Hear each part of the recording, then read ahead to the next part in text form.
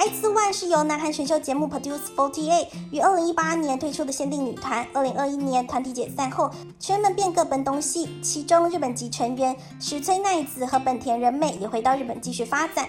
怎料十九日近传出，他们将再次参演南韩选秀节目，引起网友热议。根据韩媒报道，史崔奈子和本田仁美将参加 Queendom 的全新系列节目 Queendom Puzzle。由于新节目并不是找现役女团来比赛，而是找各团的女偶像，并重新组合后来竞赛，因此他们两人也会是彼此的竞争对手。对此，节目组的相关人士稍早也回应，整体选角还在讨论，目前难以确认。让得知消息的网友们纷纷惊呼：奈子之前不是说偶像的梦想已经实现了，所以要改当演员吗？我以为他们会在日本发展呢，看来是真的很想在韩国活动呢。